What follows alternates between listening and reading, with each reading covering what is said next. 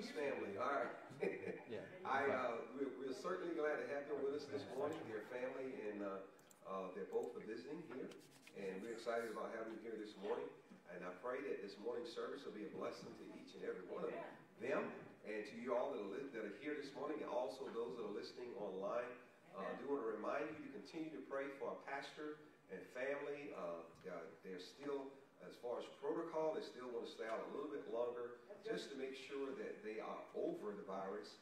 Uh, and Pastor and I think everyone, Gregory, um, Joshua, and Faith are doing pretty good. And Pastor is still having some cough. Uh, Mrs. Dawson is probably the one that's been affected by it the most. Uh, she still has some problems with her lungs. But do continue to pray for her and lift her up that God will heal her uh, completely or so that she can be uh, well. And hopefully next Sunday they'll be able to be here if everything goes well. So continue to pray for them.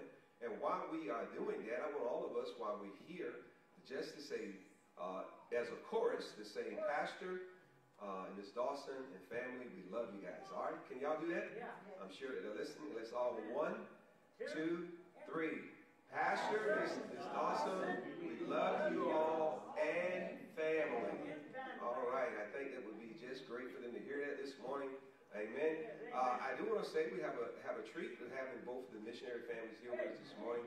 I just want to let you guys know some sad news that I'm gonna have to present to y'all this morning. I know you all are looking forward to it. Uh, since they are here, uh, they are going to help music, so y'all gonna have to wait a little longer for my solo. I, I, I- I know you guys are waiting and excited about that. but Maybe next year, or you know, uh, give you know, next cert, we give y'all something to look forward to. Amen. My solo. I, I'm gonna do my solo. Amen. So you guys are, are, are still in for another treat. Amen. Uh, just a blessing. Amen. Well, let's take our hymnals if you can this morning. Uh, uh, we're going to welcome our missionary families, but we just want to say uh, we love you all. Uh, Pastor want to say love you all. Glad that y'all have you all here. Uh, one other thing I want to mention is well, we are having a baptism this morning as well, so we're excited about that. So uh, let's just praise the Lord. But let's go to the Lord in prayer and ask God's blessings as we uh, gather here this morning. Father, thank you again for your blessings. God, we thank you for the privilege of prayer. And God, we thank you that you are God of, of, of, heavens, and Lord, that you answer prayer. And how we come this morning before you, Lord, asking you to work and do some things that we are, are beyond our abilities, and that is we lift our pastor and his family up to you. Pray that you continue to work in their midst and we see them recover from this COVID virus. Pray you work in a special way. And we do uh, pray especially for Miss Dawson this morning, Lord, who's been affected by it probably the most, that she, you would touch her body and heal, heal her in a special way. We thank you for our missionary families that are with us this morning as well. Pray that you continue to work in their ministry there, and we look forward to hearing testimonies from them as to the work and the things that are going on in their ministry. And again, as we uh, say many times at this time of the year, you are the reason for the season. Truly you are. And we pray that everything that we say and do here this morning will truly bring glory and honor to you. And Lord, if there be anyone here this morning without the saving knowledge or the assurance of Jesus Christ being their personal Lord and Savior, I pray that this would be the day that they would make that decision for you before it's eternally too late. We love you and praise you and thank you for the time that we can be together. Pray that we'll sense your spirit working in a mighty way. We ask these things now in Jesus' name and for his sake. Amen. All right. Well, again, if you would take your hymnals, let's turn over to hymn number 466. 466. And we're going to sing one stanza of that song.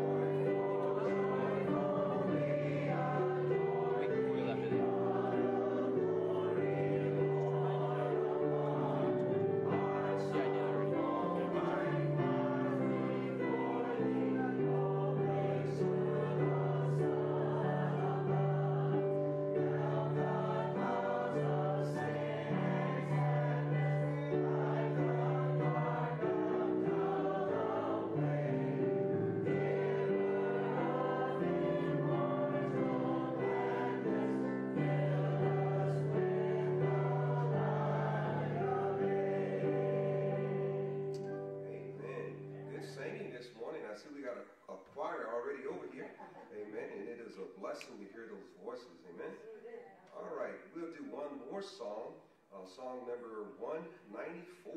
Man, bringing in the Christmas uh, spirit this morning. We'll sing Joy to the World. What a beautiful song when you think that we ought to be joyful this morning. Amen. And joy to the world. Our Savior has come. Amen. All right.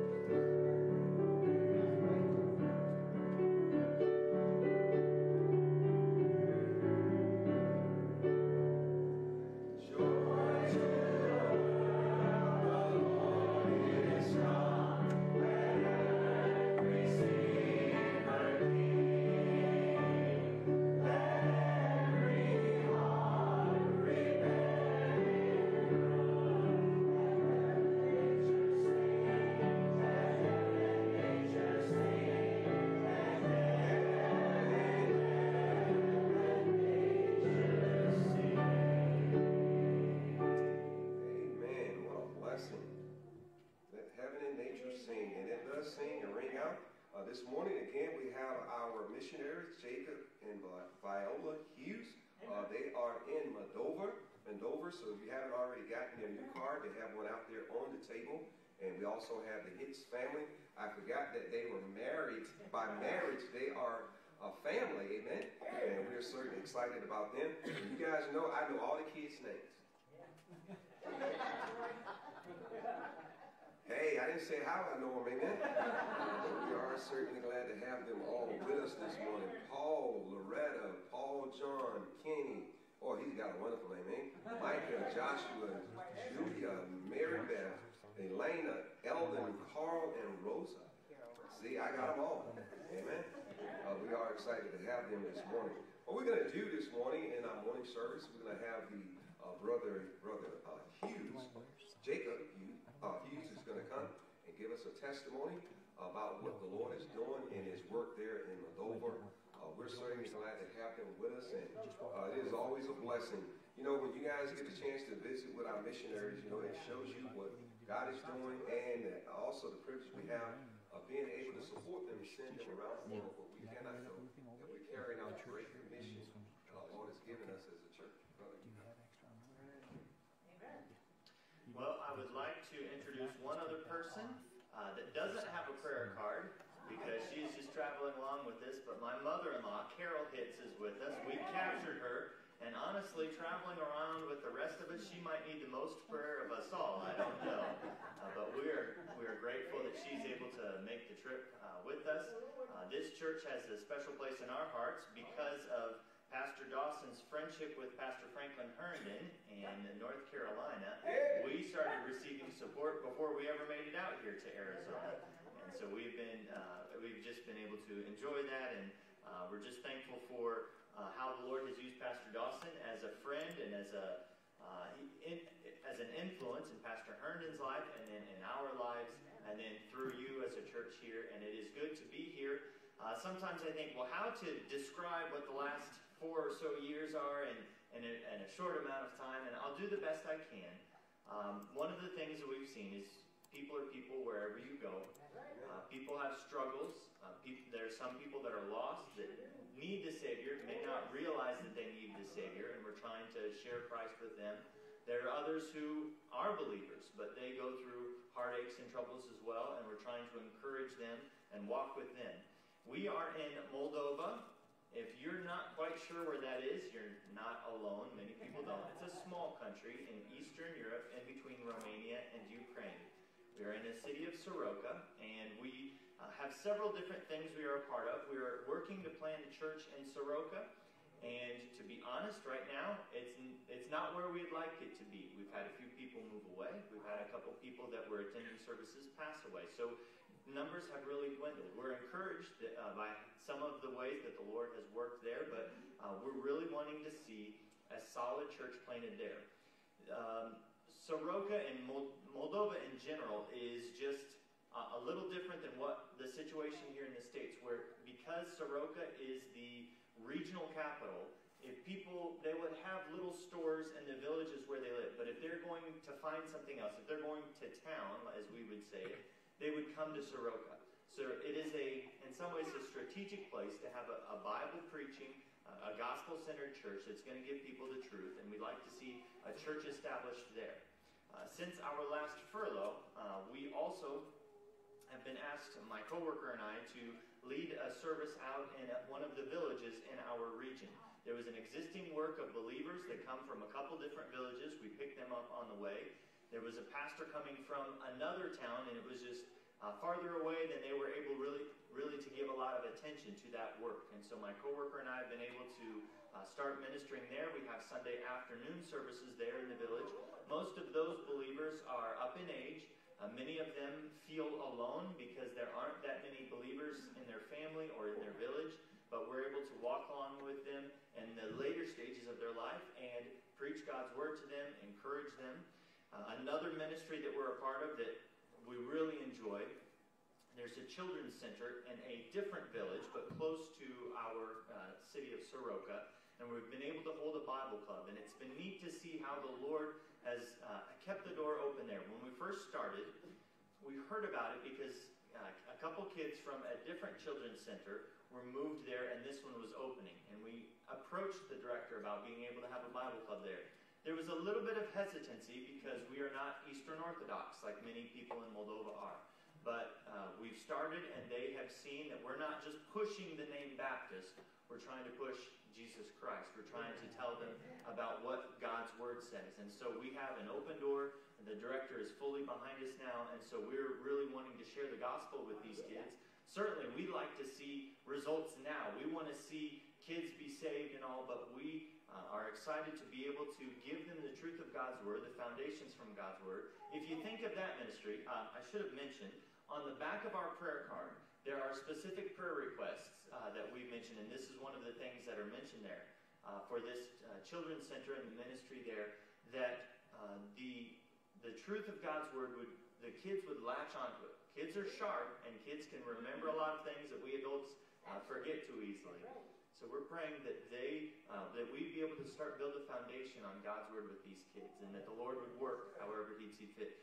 One unexpected blessing is that we've seen that the, the workers have really, uh, the ones that are with the children at the center, many times that they will sit in and participate in the lessons. And recently we found out that they are helping some of the kids learn the verses that we are trying to learn. And so there's, there's an open door with them as well. Uh, there are other things that we're a part of. Uh, we teach some English lessons. Uh, it's not difficult for us to know English because we grew up here, but many people in Europe they want to know English, in Moldova especially, because America offers the possibility of better jobs or changing their, their life. Uh, and the, the, if you have a, a chance sometime, uh, we have left our presentation uh, here, and you may see it, but uh, we mentioned in there, we thought it would maybe be high school or college age young people that would want to, to learn English, but it's actually been the, the largest portion of people have been ladies in their 50s and 60s. But that is allowed. Uh, Viola has several ladies in her class, and she's been able to uh, befriend them and minister to them. So uh, right now, we just we haven't seen one main thing just really take off, but we have these different ministries that we're able to be a part of. We enjoy each of them and uh, trying to minister to the people that the Lord has brought along. And that's what we're doing in Moldova. If you don't have one of our prayer cards, I'd ask you to just uh, I'm not asking you to do a whole lot. You don't have to pay for it. It's free for today. Uh, so just grab one of those because we would appreciate your prayers. We know that in our strength, we can't do all that we would like to. Uh, we like to see the Lord continue to work in Moldova. Uh, it is a blessing to be with you here today, despite the, the strange circumstances of Pastor not being here. I, I am a little disappointed that I'm going to miss the solo, though. I have to invite you guys to come back. You don't think you could fit it in today? I. We got a lot going on. No. that, that really disappointed me when I heard that. So uh, I don't know what you have going on after the service, but if you have a chance to come by and just say hi and we can talk for a little bit, we'd love to, to be there. As I said, when I was a kid, I used to think, you know, you just you try to follow the Lord and life just goes pretty well. Yes, sir. As I've gotten older, I've just found that we all struggle with things.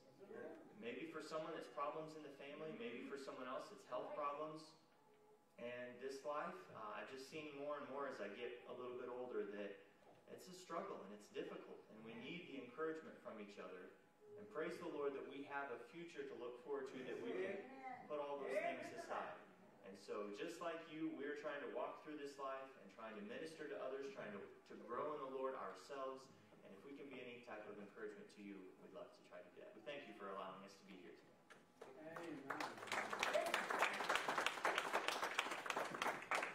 I tell you, I know, saying that, I know people are really going to be excited, so I'm going to make sure the next time they come through, we're going to consider it solo. All right.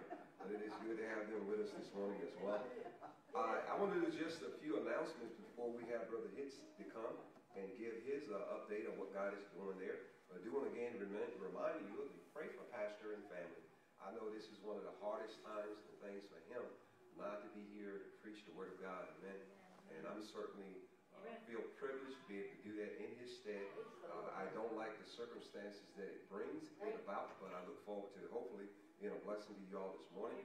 Continue to lift them up. And again, it is only about 20, man, it's what, 20 days before Christmas? Wow. Uh, so it's closely approaching. Uh, it seems like this year is going by so fast with so many things that are going on. Uh, but continue to pray for them and lift them up. They covered our prayers, and I know he's looking forward to being healthy, wealthy, and wise. Know about wealthy, but wise. Amen. Uh, and being able to get back. We do have a baptism today. We're looking forward to our two candidates. They're going to be baptized. And I believe next Sunday, and Lord willing, if Pastor's able to be here, we'll have a quick budget meeting right after uh, the service to give you an update of what's going on there. Uh, we do have some anniversaries and birthdays that are in, in the, uh, this, this month. Uh, the Stansing family is going to be celebrating, or they've celebrated one have been yesterday. Brother Duffy is going to get younger this year. Kathy's getting younger. Uh, Neek and Tony are getting uh, more beautiful. Amen. I won't say older. Amen. But they are growing up. I tell you, it is a complete blessing. And now we're going to have our other missionary come, and he is the one that has his own clan, choir, football team, basketball. He has it all. Amen. Cheerleaders as well. Amen. You coming up to this this morning. Thank you. Paul? Well, good morning. Good morning. It's good to see everyone here this morning, and it's just a joy to be back. Uh, Jacob was mentioning some some things from the past, and uh, one of the memories I have first coming here, uh, the first time we came through, I believe our son, our oldest one, who's now 14, he turned, he had his first birthday. We were staying at a place, and uh, we went and got him a cupcake, and he we got that video, we'll have to find that somewhere, and so do the math, and we know pretty much how long ago that was that we were here that first time. And yes, we're also thankful for uh, just your, your your pastor, Pastor Dawson. Hello, wherever the cameras. There we go. I was so sorry we couldn't see you today, but we love you all, and just so thankful for your faithful prayers and support of our family. Trying to help our children. You know, now we have ten of them, and uh, help them understand just just how much these churches have meant to us and, and what you have done for us by praying, by faithfully giving to us. And now that it's been over a decade, it's hard to believe, it's been over a decade of you all supporting us, well over 10 years.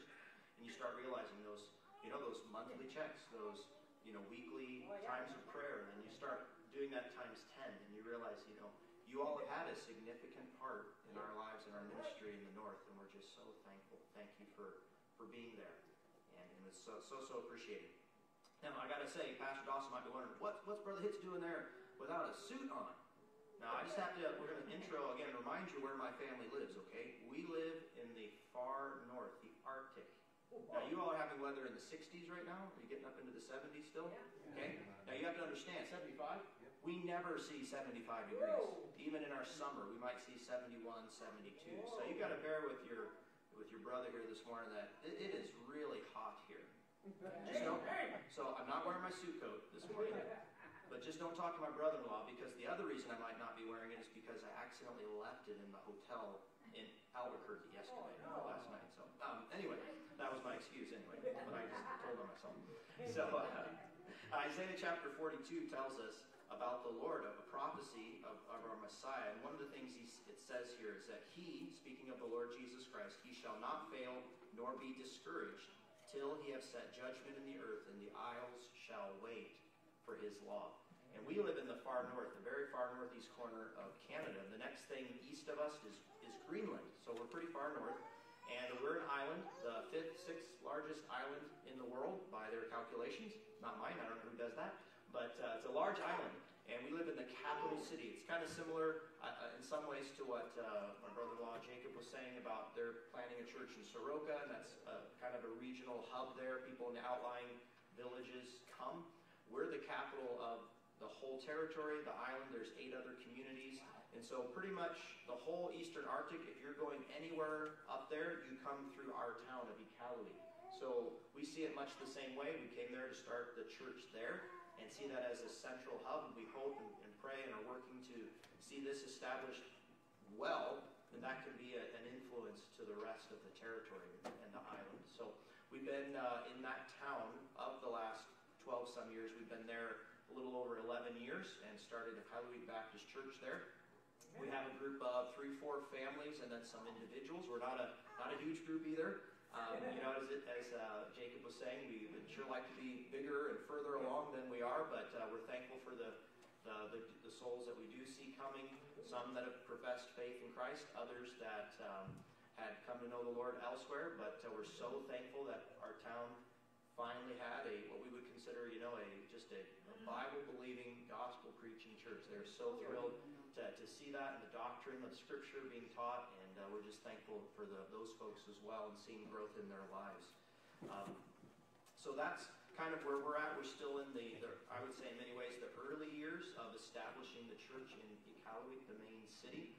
Some of the things that we have going on, I'll just close with that. Um, um, maybe some other similarities as well.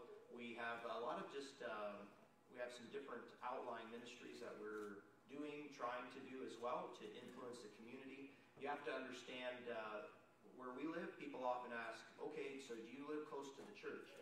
And the answer is everybody lives close to everyone, right? So it's the far north. There's no road to get there from down south. You have to fly three hours on a 737 jet. That's about 1,100 miles north of Ottawa, Ontario. So if you know where Ottawa is, the capital of Canada, you have to fly three hours north on a, on a jet. So it's over a thousand miles. And so there's no roads, there are no trees. Um, our town is about 8,500 people, and it's the big city. And this is like, you know, the big city to everyone else. So when you consider 8,500 being the big city, you know, the other communities are 350, 3,000, some, there's one community of about 80 some people, and they're all hundreds of miles apart from each other, and you have to fly in, fly out. That's pretty much the only way unless you go by snowmobile in the winter, or maybe by boat. A lot of them are by the shore. So uh, small, smaller communities, but in a way, everybody knows everybody. So even though there aren't millions of people, you don't go to the street corner like Toronto or, or New York City and see all these people. Um, the unique thing about a, a more isolated place is that with, in a way, everyone knowing everyone, can you can be an influence to almost the entire community without even meeting anybody. Without you know, there's think about being downtown Tucson. You might see, meet somebody and never see them again, right? Like there's just that many people. Whereas in the smaller communities, you can have a, a testimony that really goes everywhere because of the closeness of the community. So we're thankful for those opportunities as well. A couple things we have coming up. Uh, that you can be in prayer for is first of all our Canadian citizenship. We're allowed to be Canadian and U.S., right? We're U.S. by birth, but uh, God willing, and this next year we should see it all come together and we'll be able to be Canadian citizens. That's a big step for us as missionaries to be able to do that. And a couple other things is uh, we have a prison ministry we've been doing for a while. With COVID, it kind of got shut down for a while here. Things are getting ready to come back. And one of the opportunities we have going back is to start up actual program in the prison, uh, an actual program administered through their system that I would be running as a basically like a uh, an addictions program, but it's all based on scripture. So that's something we're excited about doing there locally, right in our own prison system. The second thing is, you can be in prayer for this as well, is that our local uh, police force has never had any kind of chaplaincy program locally. And they, uh, we've just been working paperwork. It looks like everything's going to go through. Amen. And uh, God willing, when I go back, hopefully we'll be ready to get things started. And I and another friend in a different community will, Lord willing, be the first two chaplains in the far north in our region. And you would pray for that too, that we would have a ministry to these officers and their families and really get on both sides of, of everything. We can be in the prisons and giving the gospel there. We can be with the officers giving the gospel and just, uh, seeking to minister to people as the Lord opens doors. So there's some things going on. We appreciate your prayers. Thank you for praying for us. We have prayer cards on the back table as well. Ours, I'll make mine free today too, since Jacob did. So they're free today. But uh, please, please take some. And we'd love to talk to you after the service. The Lord bless you. Thank you for all you do for us.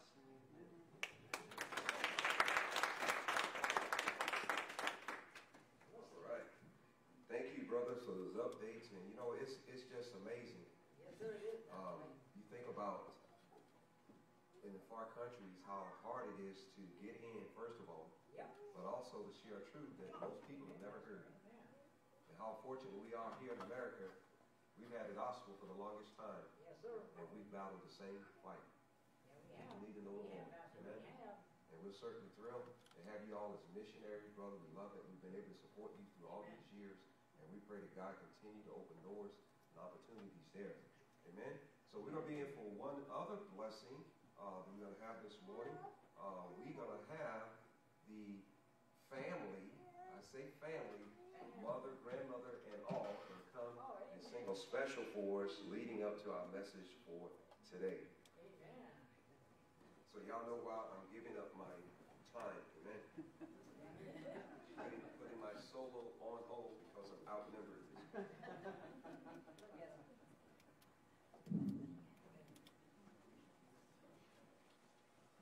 Oh, yeah.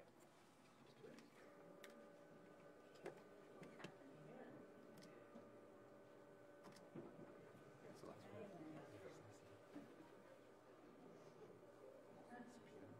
Yeah.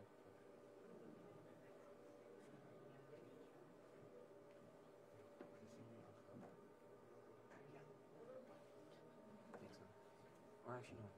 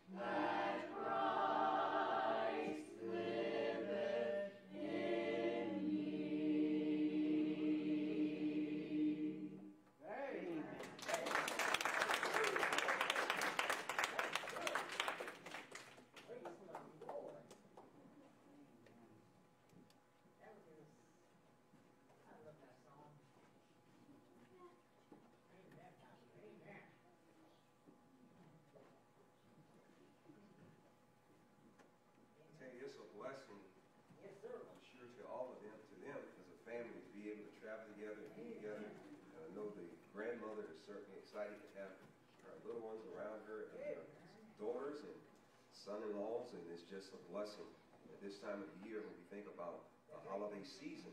Amen?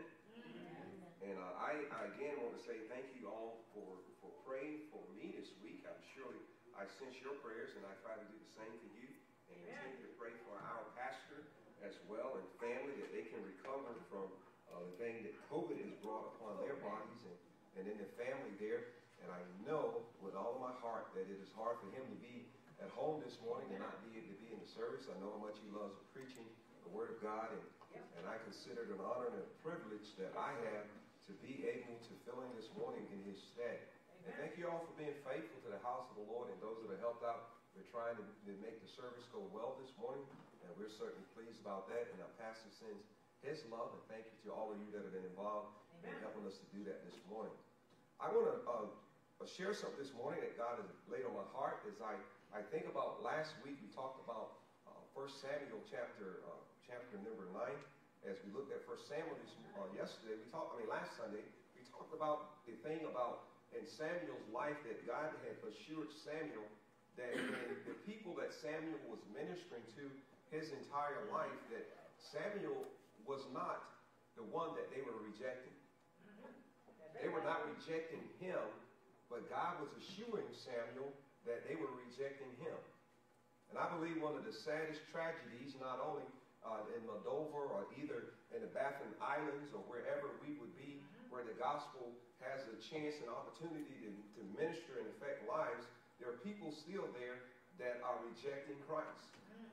And I believe this morning that we have one of the greatest challenges before us when we think about the, the, the gospel and we think about the privilege that we have to have the gospel or you have to be presented the gospel of Jesus Christ if you hear this morning and you're sure that Christ is your Savior, what a blessing and what a privilege it, it, it is. And I believe in our, our society and even in our world today that there's so many that are rejecting God because of their ignorance of who Christ really is.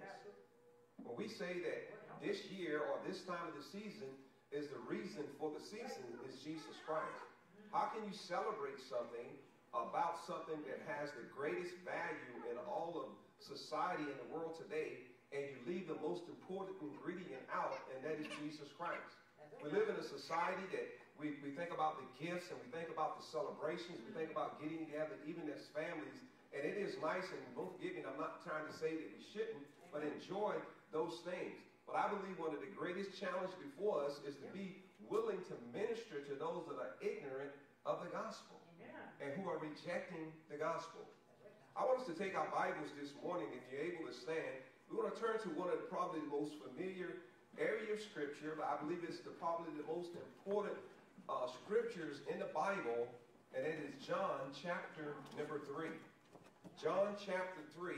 I'm going to read, uh, I believe, probably the first seven or, or first seven or eight verses that are there.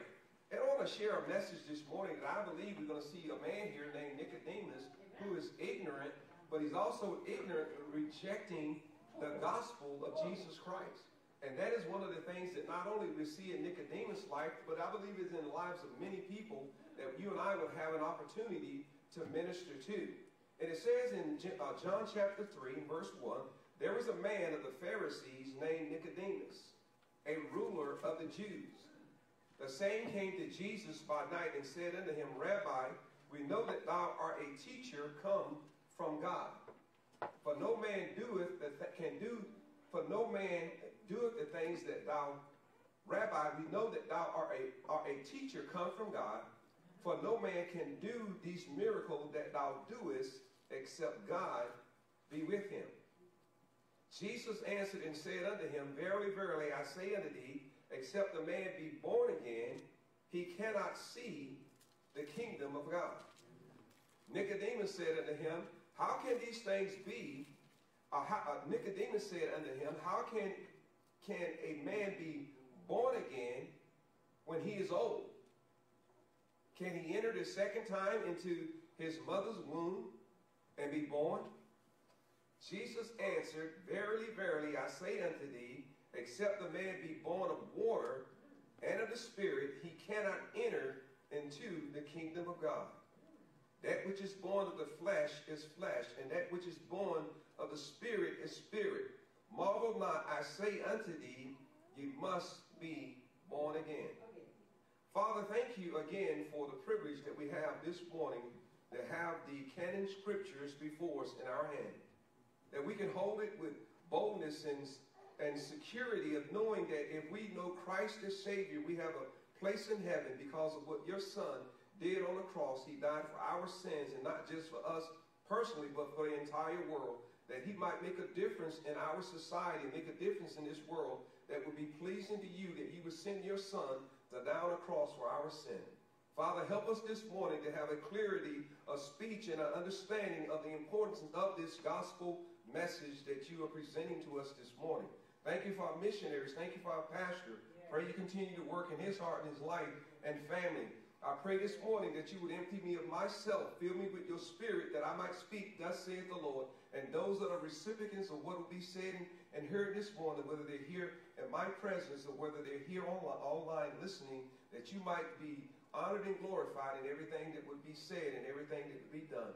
If they one amongst us listening or here this morning without Christ, that this will be the day that they would make that decision for you before it's eternally too late. Bless now, I pray, in Jesus' name and for his sake. Amen. Amen. You may be seated. Amen. I think about it this morning, and, and, and in all actuality, uh, it, it, reminds me of this year. When you look back throughout this year, there are so many things, as we said last last week, about uh, the people when Isaiah was, I mean, and Samuel was ministering, that were rejecting Samuel, but God assured him that they were not rejecting him, mm-hmm. they were rejecting God.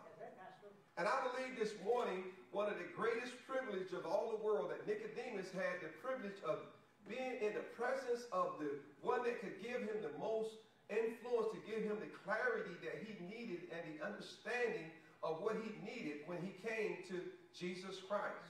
And one of the things that I can say this morning that I believe with all of my heart, what people need to hear and what people need us to do is take the wonderful privileges and opportunities that we have that God gives each and every one of us each and every day is to share the gospel of Jesus Christ to people that we're talking to.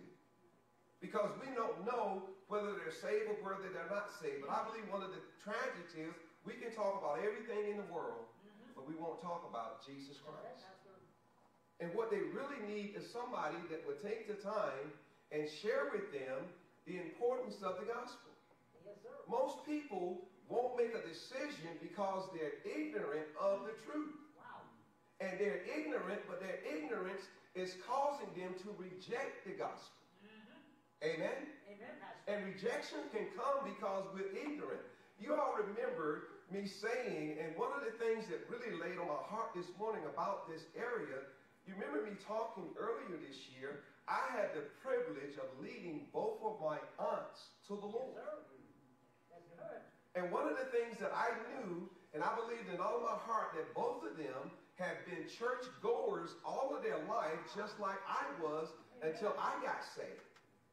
And as I thought about it, going there ministering uh, to my aunt, and my aunt, when I thought about her being in the hospital and all of the things that she was going to, going through physically, but I believe the greatest need that she had was spiritually.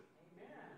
And I asked God to give me the privilege and opportunity to share the gospel with her because you know what? You can pray for people that they can be physically healed, but we ought to pray for people that need to be spiritually healed. Yes, sir, Pastor. What she needed more than a physical healing, she needed a spiritual healing. And I took this opportunity to share with her the story or this thing about what God was sharing with Nicodemus because he took the opportunity they shared with Nicodemus. And not only did I share that with my aunt that was in the hospital, I had an opportunity to take this same area of scripture and share it with the other aunt that lived in New York that was there visiting the aunt in California. We were there one night as we were sitting in my aunt's house, and the Lord had already laid on my heart before I even got there that she needed to be saved. I knew that all of, both of my aunt and probably most of my family have been in church all of their lives. But I also realize that they are probably not saved. Wow. And I asked my aunt, just like I did the one that was in the hospital, if you were to die today, are you 100% sure you'd go to heaven? And just like the one in, in the hospital, you, I told you guys I could look at the little bony fingers that she had, and she pointed all these reasons on her finger, uh, one by one, as to why she would be in heaven. The one that I was talking to now that's from New York, that's there in California visiting, as we were there at my aunt's house, I asked her the same question, and she gave me all of these reasons she believed I'm, I'm saved. I, I think so. I've been baptized. But baptism won't get you into heaven. No, it won't, Pastor, it won't. Save you. And I, I shared this same area of scripture and talked to her about the importance of the gospel. And I believe when Jesus came, or when Nicodemus came to Jesus, he was inquiring about something, but the inquiry was really about the gospel. Because he's talking to the Lord Jesus Christ. Notice what he says here. First of all, I want us to notice the inquiry of the gospel. There was a man of the Pharisees named Nicodemus, a ruler of the Jews. The same came to Jesus by night and said unto him, Rabbi, we know that thou art a teacher come from God, for no man can do these miracles that thou doest except God be with him. The man that's inquiring here is Nicodemus. He's inquiring, uh, uh, and you think about the moment but the manner of his inquiring, Nicodemus came as a religious man. The party that he was a part of were the Pharisees, and they had no idea really of who Jesus Christ really was. I think about Nicodemus as he came inquiring of the Lord. Think about, first of all, the party that he came for. You think about the position that he held. He was one that was considered a very knowledgeable person of the history or religious laws or religion there in the country. But yet he had all of these uh, positions that he held. And let me say this ignorance comes in every position.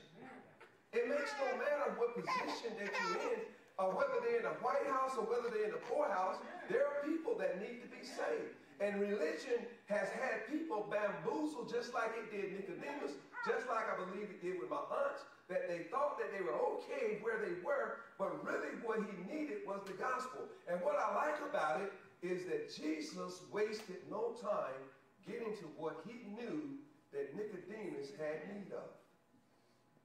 See, we can talk about a lot of things. I went there and I love both of my aunts.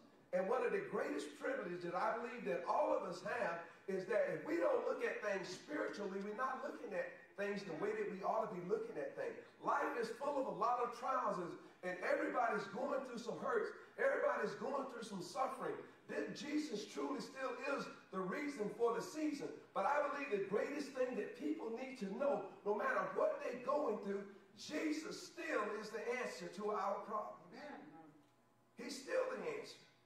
Because unless you know Jesus Christ the Savior, everything that happens to you day by day, moment by moment, hour by hour, Jesus can help you through what you're going through. Amen. But you have to know him. And in order to, to know him, you got to know him in order to be able to trust him. You can tell people about Christ. They can, they can be in all kind of uh, uh, positions. They can be in all kind of professions. But you know, if they don't know Christ as Savior, none of this is going to matter when they stand before the Lord because one day they're going to stand before God. And I believe that here we see not only inquiry of Nicodemus about the gospel, but the introduction of the gospel. Jesus Christ went right to the most important thing. He talked to Nicodemus about a birth. And the birth that he was talking about was not just the natural birth. When you think about all the births that have taken place throughout history, the first one began when, when Jesus reached down into the ground, and from uh, God reached down and from the dust of the ground, we have the soul birth where he gave to, to Adam. We think about the, the, the, the, the, the, the surgical birth that uh, uh, Eve went through when he reached into Adam's side and took a rib and he formed her. We think about this, the, the birth that took place there. You think about those births. that took place, uh, and, and when we think about births, as Jesus was talking to him, we think about the, the birth when, when Mary, when the Spirit of God placed our Savior into her womb. That was a that was a different birth. It was birthed by the Holy Spirit of God. When you think about the birth that Jesus Christ is talking about, he's talking about a spiritual birth.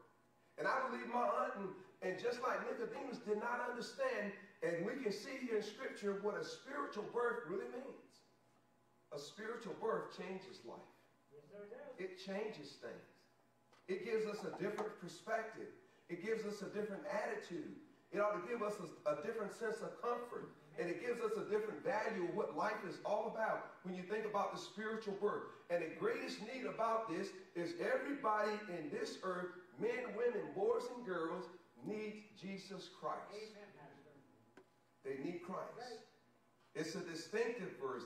It's a distinctive because he told me it was a spiritual word. It is a divine word because only the Spirit of God can give you that birth that he's talking about. It's a dynamic birth because it changes our life completely. It changes everything that you and I can do, everything that we live for. This birth that God is talking to, Jesus Christ is talking to Nicodemus about. But Nicodemus shows that he's ignorant of this birth that Jesus Christ is talking about. In verse 3, Jesus answered and said unto him, Verily, verily, I say unto thee, except a man be born again, he cannot see the kingdom of God. Nicodemus said unto him, How can a man be born when he is old? Can he enter the second time into his mother's womb and be born? The comments that Nicodemus is making when we think about the ignorance of the gospel, the carnality that he relates it to. Because he's thinking about the physical. I know as much as grandma that's here this morning, her daughters could not go back into her womb. Mm-hmm. That's right. The mothers that are here this morning, your children cannot enter back into your womb. But the carnality, but the Bible says the natural man understandeth not the things of God because he's spiritually discerned. Nicodemus is just as carnal minded as most people are when you start talking about the gospel of Jesus Christ. They have no idea. And because they don't understand, they reject it because it doesn't make any sense to them. But you and I have to realize this morning we have to break it down to where they understand it. And you think about the simplest things may be the hardest things for people who don't know Christ to understand what it means to be born again. Amen. Jesus took the time, and here in Nicodemus, he's in sitting with the greatest teacher in the world. God knew his heart. God knew what he needed to hear. And he's sitting there and he's under the influence of the Son of God. And the Spirit of God is taking the Word of God, who's there talking to him, to give him some understanding. And that's what had to happen with me telling my aunts about what this passage is talking about. And we got to be willing to do that. And, and, and, and, the conclusion here of it all, this highest position that Nicodemus had in religion or religiously speaking, he was just as ignorant as anybody walking along the street Amen. that can be in this world in which we live in. Mm-hmm. He had no idea what it meant to be born again. And it's ignorance because notice what he says. How can these things be? Am I going to go into my mother's womb a second time? Enter into her womb? I don't think she wants you to come sit in her lap, let alone back into her womb when you are an adult. Maybe a child might have a chance, amen? Amen. It takes the work of the Holy Spirit of God to reveal this truth Yes, sir, Pastor. to someone that we were shared with. Amen. But you know what? God is willing to do that if we're willing to take the time and show people. Amen, Pastor. We're failing them Yeah. because we're looking at things carnally. And we're not looking at life spiritually. Even some of us that are Christians. We talk about everything under the sun. We joke and laugh every day. But if we don't consciously ask God to help us to be sensitive to the needs of people who are around us, family, friends, co-workers. Strangers on the streets, Amen. foreign lands and countries, Mm-hmm. and we don't ask God to help us, He won't. But the Spirit of God is willing to take the Word of God if you and I will allow it to be such a part of us Yes, sir. that we're sensitive enough to share it in its simplicity. It gives a person an opportunity to come to Christ. This is what Jesus is doing with Nicodemus. Think about it this morning. The compliments that he makes, the condemnation of ignorance is upon him because the position that he holds, he is a master or what they consider a master. Aren't there a master teacher of Israel? In other words, you are to be a instructor of this book. And you don't know how important it is to understand what it means to be born again, Wow. his position. And folks, let me say this. Romans chapter number three gives us another thing. He has the privilege of having the scriptures. Amen. Romans chapter 3 and verse 1 says this What advantage then have the Jews? Or what profit is there in circumcision? Much every way, chiefly because that unto them were committed the oracles of God. That's what makes it sad. He has the privilege of having the truth. Amen.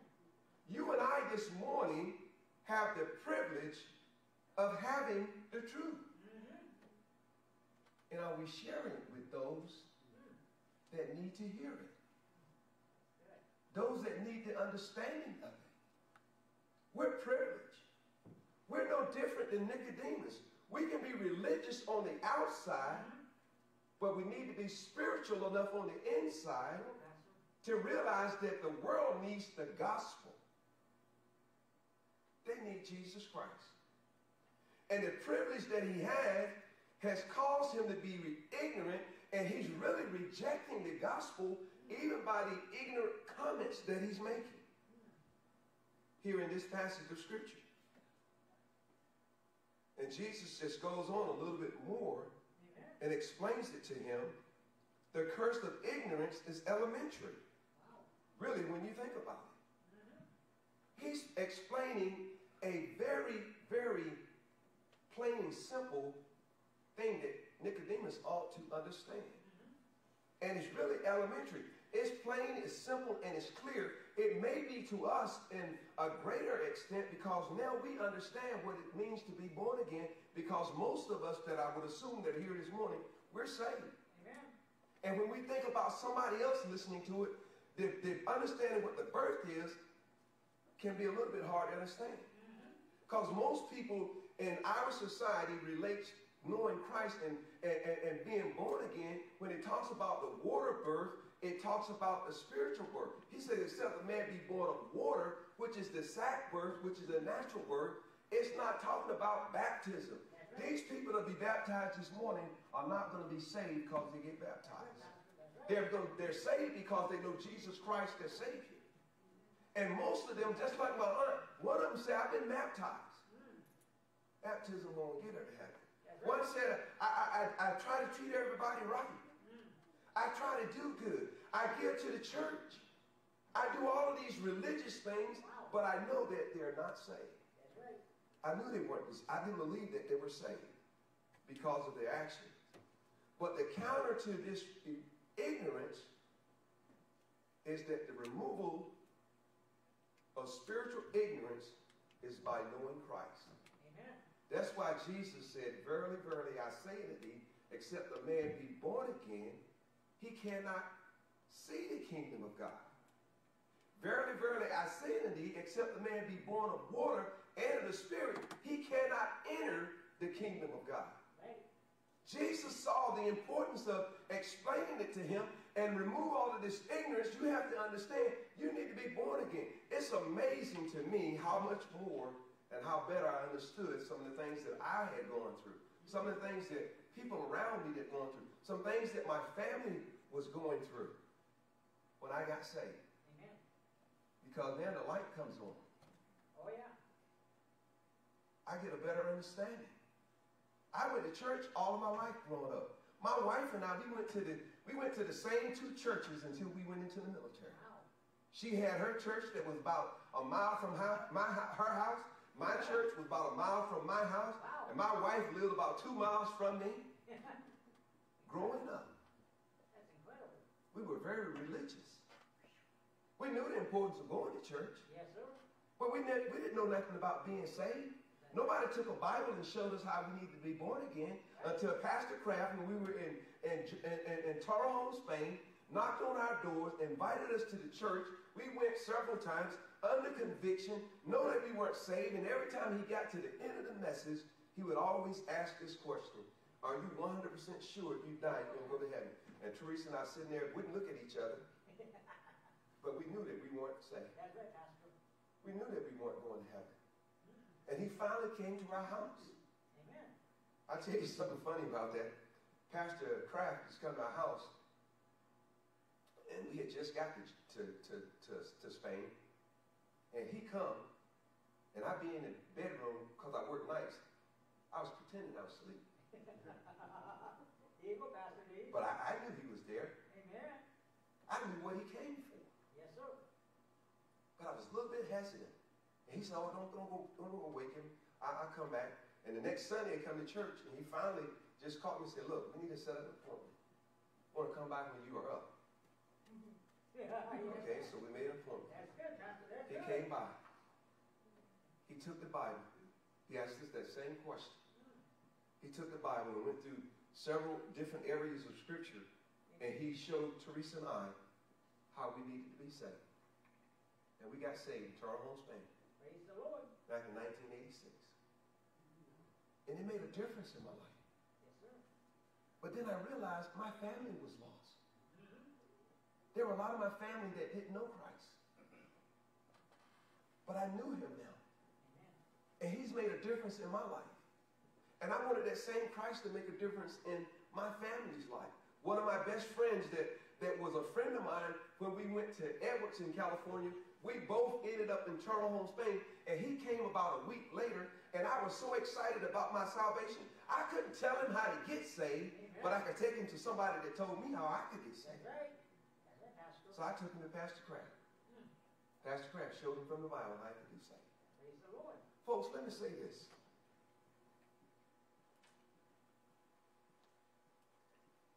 Don't lose your excitement Amen. about your salvation. Yeah, Pastor. That's right. Because when you lose it, you won't be sensitive to those around you who don't know Christ. When I got saved, I was excited about it. Mm-hmm. I told everybody that would listen. I had family members when, when we went home to be around them. I just waited for opportunities to get by alone with somebody. I'm telling them about the gospel. Amen. And folks, I'm not bragging on me. I'm bragging about God. I saw a lot of my family get saved because I was willing to share the gospel with them. I had a friend of mine pick me up from the airport I, I, and drove me home from the airport one time. I went there visiting. I had the privilege of leading him to Christ. My brother picked me up one time from the airport. We traveling back and forth from Germany or from Spain. Picked me up. I shared the gospel with my brother. I had a privilege of taking my cousin and helping him take a, a rental car that we was to a family union, ride back to him to, to take a rental car somewhere we had to turn it in because we didn't want to turn it in where we were where we were because we had to pay extra. We drove and I shared the gospel with him. I had a father who was going into surgery. And I called him on the phone. And, and I talked to my dad that morning before he went into surgery. And I had the privilege of sharing the gospel with him. There you go. I told you about Miss Miss D. I had a chance to, to, to visit with my aunt one time. She came to visit Teresa and I uh, uh, for Thanksgiving. I had the privilege of, uh, of going to take my aunt to visit another lady that was a cousin of my uncle who was in the hospital. And I prayed all day that God would give me the opportunity to witness to Miss D. And I had a chance to witness to Miss D. Her son, my aunt, her daughter were all sitting in the hospital room as I was sharing the gospel with her. Praise the Lord.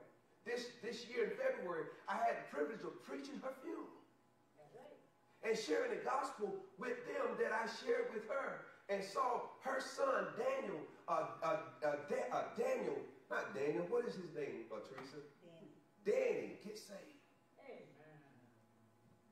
That's good. because of the gospel. People are ignorant. Yes, sir. The gospel makes a difference. Mm-hmm. And then we notice the illustration that God gives because evidently it wasn't getting across to Nicodemus. Look at verse number number number number five. Let's read it here. Jesus answered, Verily, verily, I say unto thee, except a man be born of water and of the Spirit, he cannot enter the kingdom of God. Uh, cannot enter the kingdom of God. That which is born of the flesh is flesh, and, and that which is born of the Spirit is spirit. Marvel not, I say unto thee, ye must be born again. The wind bloweth where it listeth, and thou hearest the sound thereof, but canst not tell where it's coming and whether it goeth. So is everyone that is born of the Spirit. Nicodemus answered and said unto him, How can these things be? Jesus answered and said unto him, Art thou a master of Israel, and knowest not these things? Verily, verily, I say unto thee, we speak that we know and testify that we have seen. And you receive our witness, and you receive not our witness. I, if I have told you earthly things, and you believe not, how shall you believe if I tell you heavenly things?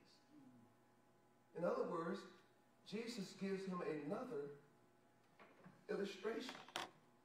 I want us to quickly turn over to Numbers chapter number 21. Because the illustration that he gives him here is something that at that time, Nicodemus, I believe, understood it because historically he should remember this event, but knowledge wise, as a teacher, he should have understood this. Numbers chapter number 21 speaks of when he gives him this illustration. He says, uh, uh, he says here about the earthly things, no man, in verse 13, has ascended up to heaven, but he that cometh down from heaven, even the Son of Man which is in heaven. And as Moses lifted up the serpent in the wilderness, even so must the Son of Man be lifted up. It goes back to chapter 21 of Numbers, verse number 5. And the people spake against God and against Moses. There's that ignorance. There's that rejection. Whereof, uh, wherefore have ye brought us up out of Egypt to die in the wilderness?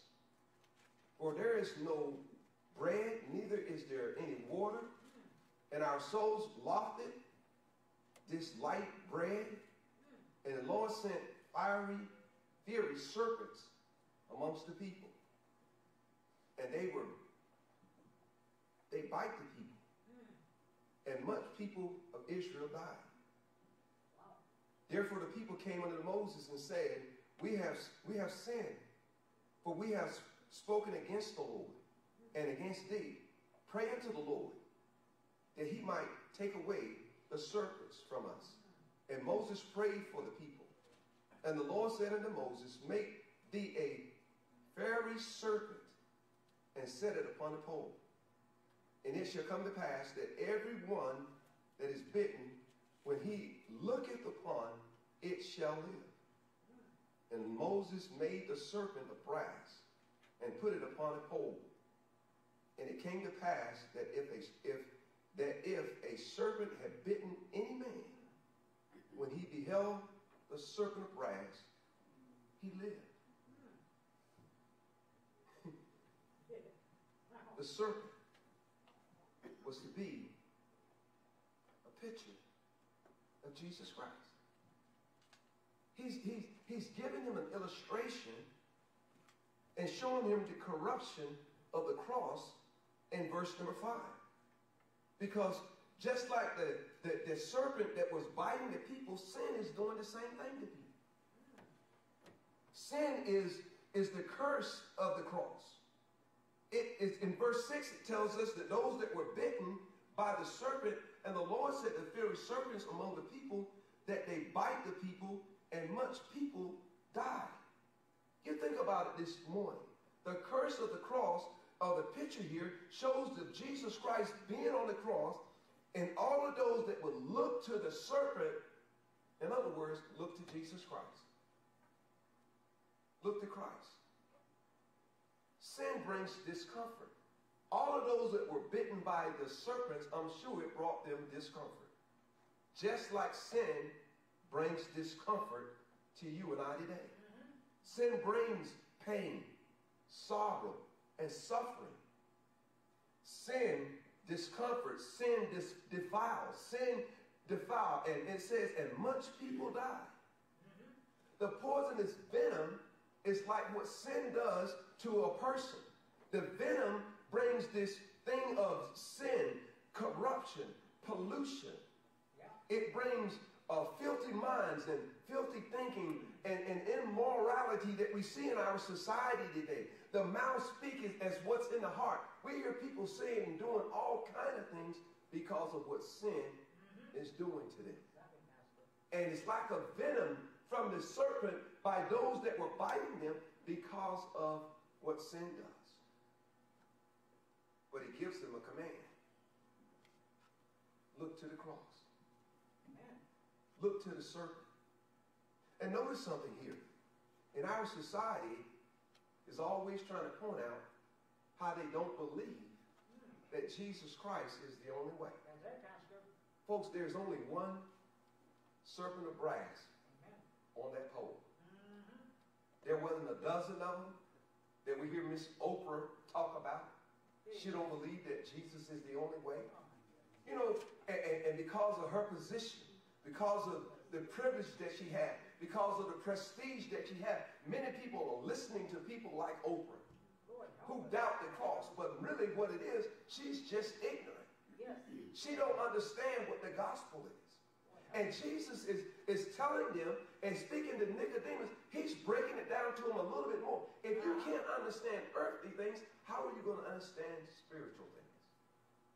So he breaks it down to him just a little bit more. Those that would look to the brass serpent, look to Jesus Christ. And notice something else.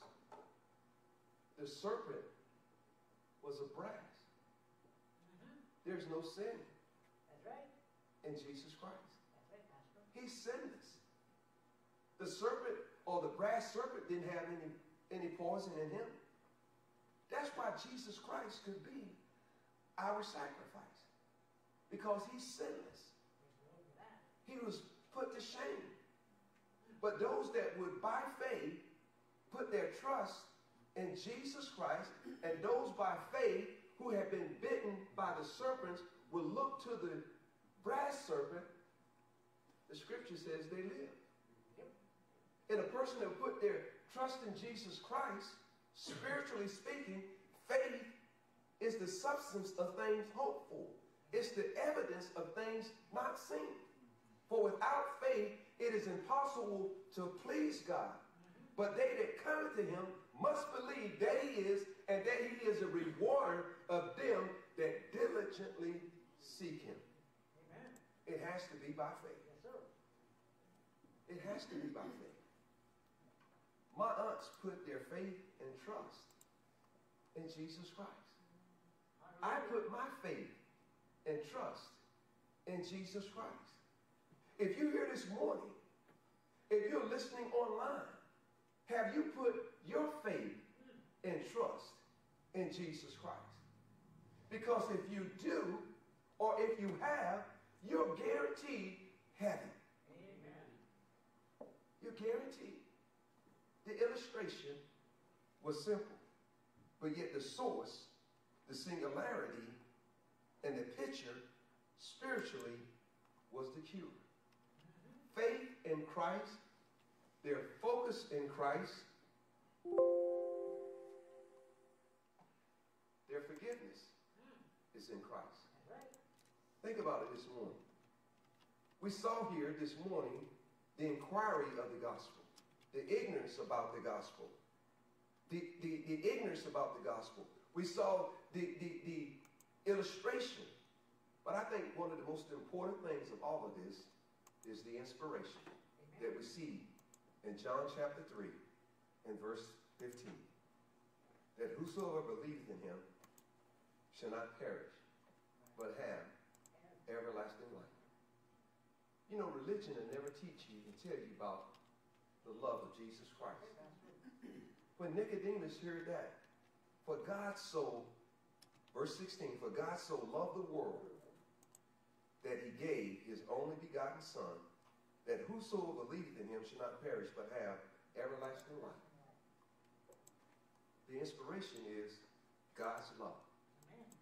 When we understand that God loves us and God loved people, He so loved the world that He gave His only begotten Son to die on a cross for your sin Amen. and for mine. You know, one of the things that religion teaches is a cruel God, a dead God, an unspeakable God, or one that has no idea what you go through on a daily life. But Jesus does. You know what? It was unexpected, I believe, for Nicodemus to hear about the love of God. Amen. I believe that those that we would witness to, it would be unexpected by them to understand how much God loves them. And his love is unequal. There's nothing like the love of Jesus Christ. You think about it this morning. We don't deserve heaven. Mhm. We deserve a place called hell. God loved us so much that he sent his son to die for your sin and for my sin. Folks, I tell you one of the greatest privileges in all the world is to, for people to understand how much God loves them. And they'll never know if we don't tell them. Because they ought to see the love that you have for him, that you love them enough, just like him, that you would tell them about him. You know, I know this about my aunts, and I speak of them. I know this about my dad. I know this about family members. I notice this about some people that I work with. That I told them about the gospel and about the love of God. They didn't expect to hear that. Amen. It's unequal. There's no love like Christ. Those gods that religious and religion talk about, they have no love for you. They had no love for Nicodemus. But Jesus did. Yep, he did. God does. He loves us. Amen. He loves them. He loved Nicodemus. Mhm. And Jesus took the time to tell Nicodemus about himself and about what he needed. What about you this morning? Are you 100% sure? Those that are listening online, are you 100% sure that if you die, you go to heaven? I tell you what Nicodemus heard, you must be born again in order to see the kingdom of God. Born of water and of the Spirit. And it takes the Holy Spirit of God to birth that person anew Amen. and the new life that you can have in Christ. But are we excited about that this morning? To tell other people about Christ. We're going to go here in the next 25, 20 days that are left before Christmas. Amen. And we'll have privileges and we'll, we'll have opportunities to tell people about Christ. They're going to celebrate and they're looking at the presents and all the glitter and the lights and all those things. And those things are nice. I put my lights up yesterday, fell off the ladder. Amen. Oh, amen. Talking to myself, brother. Oh, my. I, it, Oh, it wasn't far. But I enjoy the season too. Amen, Pastor. But I know the God of the, of the reason for the season. And we ought to tell people about it. Because that's what they need to hear. That's what they need to hear. They need to know that Christ them. Right. Jesus is the reason. And it is sheer rejection because of their ignorance, because no one has taken the time, I believe in a lot of cases, to really share with them what it's really all about. Because you didn't until somebody explained it to you and shared it. And in some simple way, they help you to understand your need of Christ. For all have sinned and come short of the glory of God. There's none righteous, no, not one. And whosoever shall call upon the name of the Lord shall be saved. Shall be saved. There's no difference between the Jew or the Greek, for the same Lord over all is rich unto all that call upon him. Aren't you glad? That's right, Pastor Wayne. Amen to that. Amen. Amen. Heads bowed eyes are closed. No one looking around. I think our pianist, she slipped out, but that's okay. But you think about it this morning. How many of us this morning can say, without a doubt, that we're 100% sure that heaven is our home? Just raise your hand right where you are. Let me see those hands this morning that, that are here under the sound of my voice. I see those hands going up everywhere. Maybe there's someone here, even those that are online, and you your heads bowed, your eyes are closed. I hope you're in prayer. How many of you can say by the uplifted hand that you're 100% sure that heaven is your home? Maybe you're at home in the quietness of your own home. You're not sure. We're not here to embarrass you, even those that are here this morning that, that may not raise their hand. I would never do that. But I certainly want to pray for you. Maybe you're here this morning, you're not sure. Would you slip up your hand where you are? I see that hand. I want to pray for you this morning that you have a greater understanding. Maybe there's someone online that has slipped their hands up in the quietness of their home. I surely can't come to you and embarrass you, but I would say that maybe you can call this church and someone can answer the phone. Pastor myself, you have our number. And we'd be glad to share the gospel with you. Maybe you're here this morning, you're not 100% sure. Let someone take a Bible and show you how you can be saved.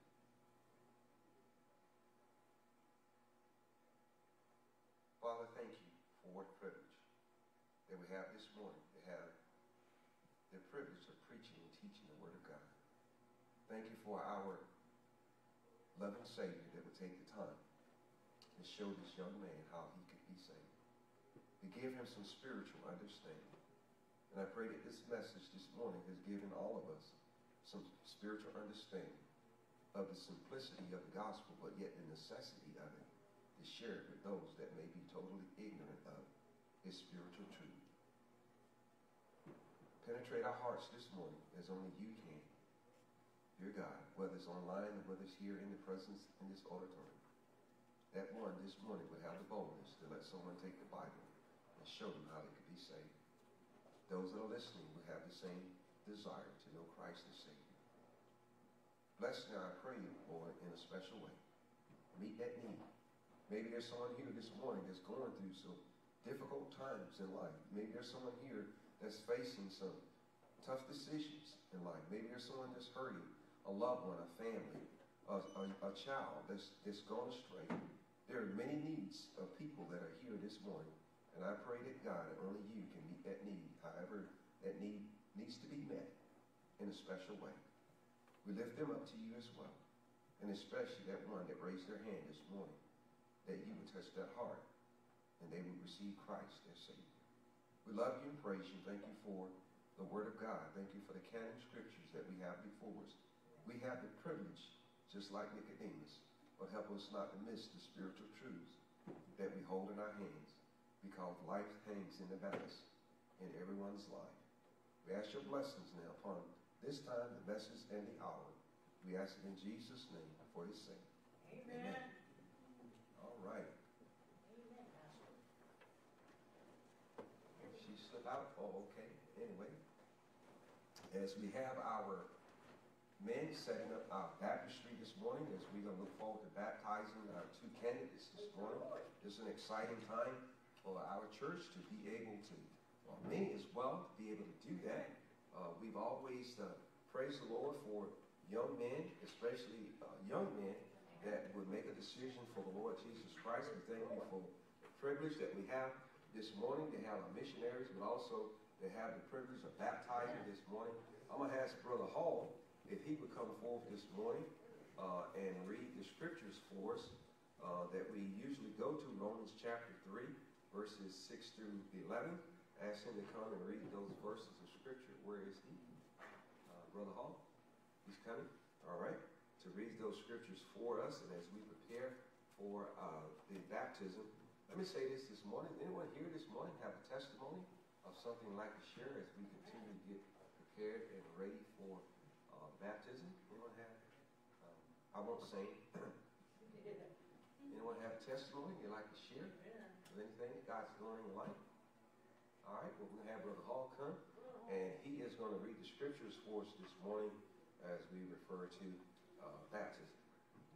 Romans chapter 3, verses, Romans chapter 6, verses 3 through 11. I'm sorry. Got it? That's all right. Amen. Good morning. Romans chapter 6, verses 3 through 11. Right, here we go. Know ye not that so many of us as were baptized into Jesus Christ were baptized into his death?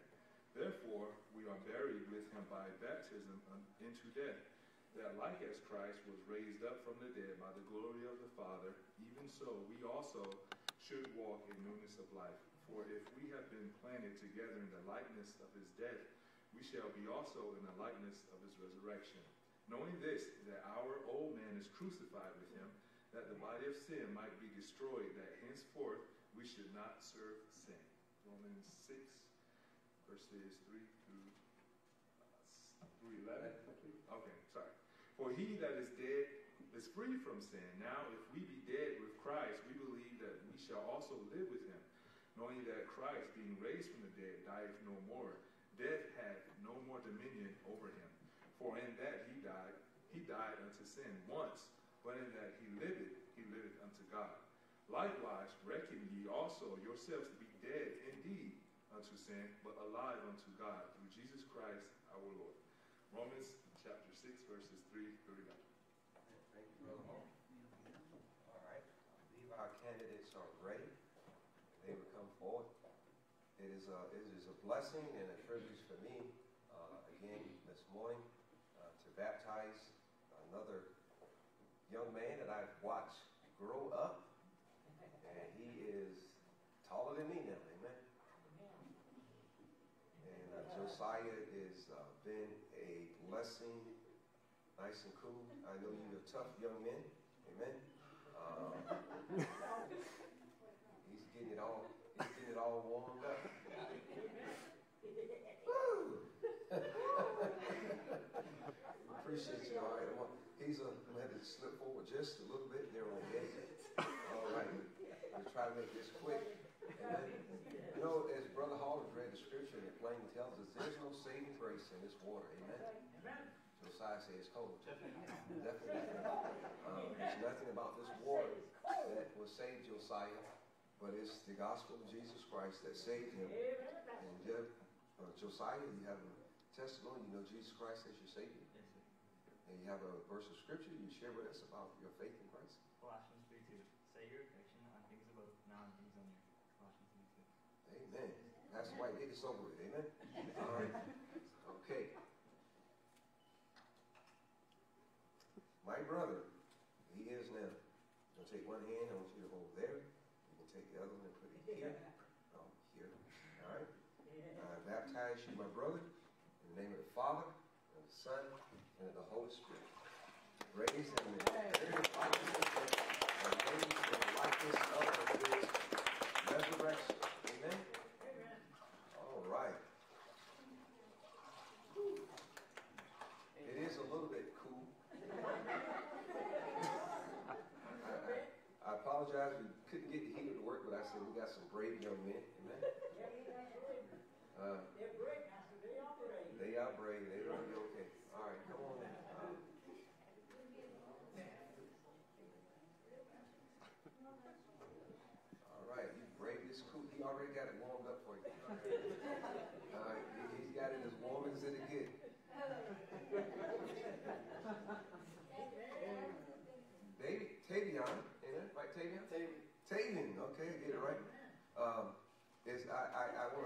Bye.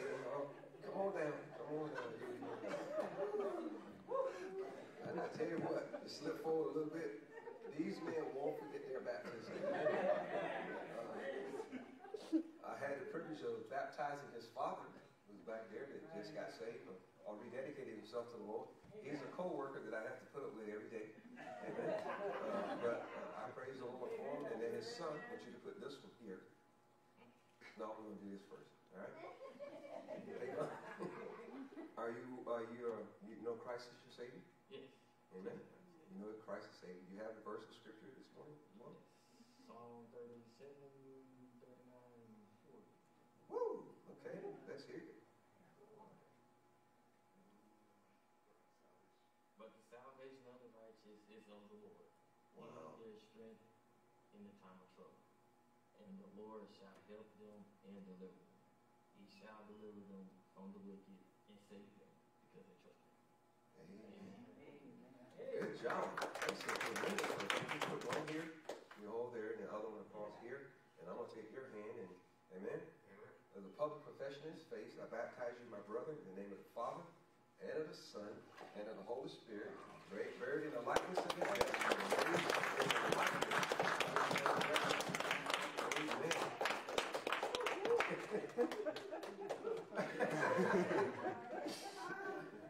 I tell you what, I appreciate these young men uh, uh, braving the elements, amen. Um, I'm sure there's ladies saying, I'm glad I ain't getting baptized. Uh, we, we probably wouldn't have did that to you guys. I figured the young men, they're, they're brave at this time for us this morning. But we are certainly glad. Uh, we have had a, how many of y'all enjoyed being in the house of the Lord this morning? Amen. We've had the wonderful privilege of having our missionaries here, uh, hearing the gospel message this morning, the singing, and see these two young men now uh, follow the Lord in scriptural baptism. Let's pray for them. It's just the beginning of a new life for them. Uh, that Christ will continue to work in their hearts and their life. And uh, we're looking forward to God doing great things for them. And you encourage them in the things of God. And as we're dismissed in prayer, we're going to ask our missionaries and their family to make their way in the back back there in, in the foyer. Uh, they may be there to answer any questions or anything you might have questions about their ministry and about the work that they're doing in their respective areas in, in the country and the privilege that we have to support them. Uh, remember again, continue to pray for our pastor and his family uh, that God would raise them up in the day to come. And it is a special time in the house of the Lord. Uh, remember, Jesus is the reason for the season. Amen. Amen. I'm going to ask um, Brother Ken Duffy, where he's sitting there, he's got a nice loud